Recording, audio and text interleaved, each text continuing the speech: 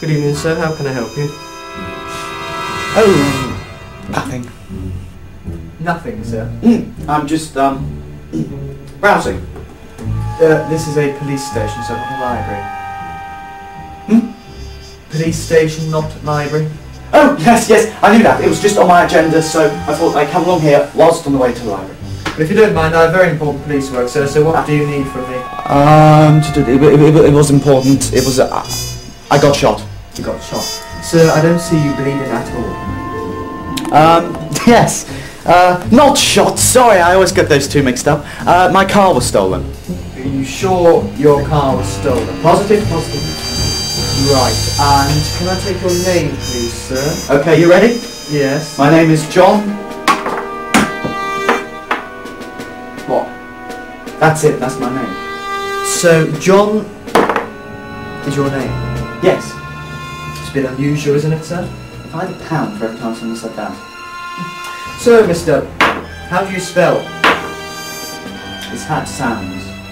Well, could you please write it down for No, me? no, no, no. No, No, come on, just No, write no, it I down. have a fear of pens. Look, I would be very grateful, sir, if you did spell it for me. Okay. M O I S T hyphen Y. Moisty. Beg your pardon? Your name is John Moisty. What? Who? Are you, are you speaking to me? Yes. Have you gone mad? I thought that today's modern day policeman was supposed to be a teacher of society. Now you can't even spell. Right, okay, Mr. Moisty. Can I please have your address? Sorry, are you talking to me? Yes. You want my address? Yes, sir. Not Mr. Moisty's address. Mr. Moisty, just can I have your address? Okay, my address is... Watch it. What? What have I done?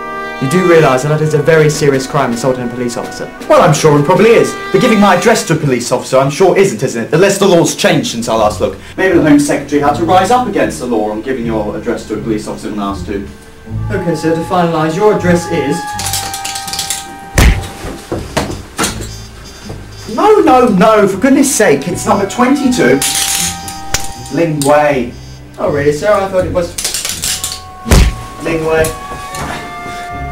No, it isn't! No, you see, I'm wrong. It's my handwriting. Get a typewriter. No, we can't afford typewriters in the police force, sir. no, from a certain angle, it looks like 22 Lane. John Moisty. That look funny on his gravestone.